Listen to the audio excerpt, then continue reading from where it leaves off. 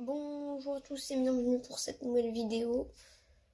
Aujourd'hui, je vais vous montrer comment utiliser le bracelet de sport connecté de chez Kappa. Alors, vous appuyez sur ce petit bouton là, celui-là, hop, pour l'allumer et pour défiler dans les menus. Bon, évidemment, c'est en anglais la date est fausse. Je vais paramétrer ça sur le téléphone plus tard. Là, on peut voir les pas. Bon, c'est faux parce que j'ai pas pris toute la journée, quoi. Enfin, j'ai pas pris. Là, il y a le détecteur de fréquence cardiaque. Et puis, on a comme sur les Garmin, bonne qualité, le mode sport.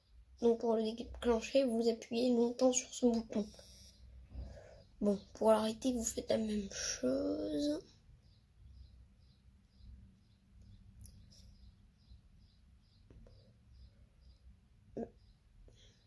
C'est dur. Oh, c'est dur.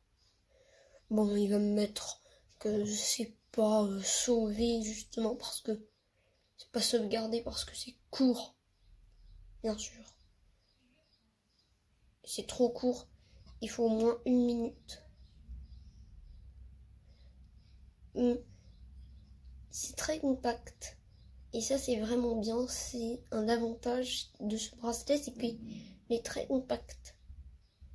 Et puis, bon, il y, y, a un inconvénient, c'est que pour le recharger, vous devrez enlever ce truc-là. Bon, je vais vous mettre les avantages et les inconvénients à la fin de la vidéo. Au revoir.